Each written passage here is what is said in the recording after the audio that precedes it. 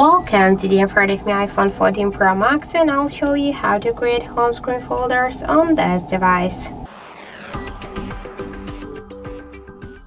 So just to create a new folder, we should hold the uh, application and drag this up to another one. And now we can see here the new created home screen folder. By the same way, we can add here more applications into our folder. If you want to rename it, it you should click here on the name or also and enter the new one. Also we can change it just uh, by hold for a while our folder and tap here to rename.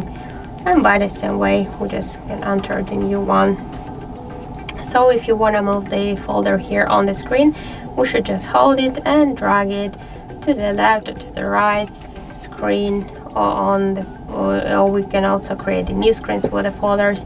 That's also not a problem if you want to remove some applications or just one app from the folder and you want to stay with this folder uh, application on the home screen you just should hold it and drag it to the home screen.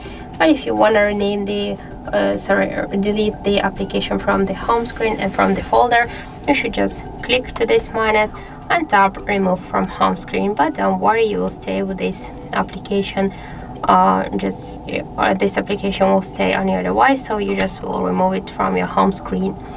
If you want to remove a couple of apps or just a folder in one click you just should hold the folder and tap remove folder and click remove from home screen.